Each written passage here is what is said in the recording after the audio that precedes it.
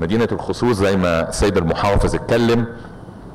هي مدينة نشأت بالكامل على أراضي زراعية بدون أي تخطيط بدأت بقرية صغيرة وعلى امتداد الوقت ابتدت تتحول إلى حجم هائل من الكتلة الخرسانية اللي حضراتكم شايفينها. لو حضراتكم بس يعني نشوف الصورة عاملة إزاي إحنا بنتكلم على غابة من الكتل العمرانية الخرسانية اللي اتبنت وحضراتكم شايفين الشوارع حتى العمارات بارتفاعات هائلة في على بعض الشوارع. مفيش هنا شوارع على الأخص إحنا لو بنبص ونقف بس لو سمحتوا بالصورة هنجد إن عرض الشوارع هنا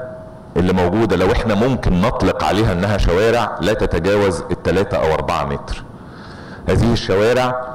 النهاردة يعني نقدر نتخيل إحنا كدولة النهاردة مطلوب مننا إن إحنا نتدخل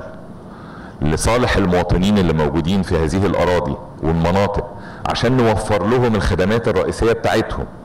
اللي هي على الأقل هو بيقول أنا عايز مية عايز صرف صحي عايز كهرباء عايز غاز طبيعي يدخل لي المنازل علشان أقدر إن أنا أعيش ويبقى عندي أدنى مستويات المعيشة اللي موجودة.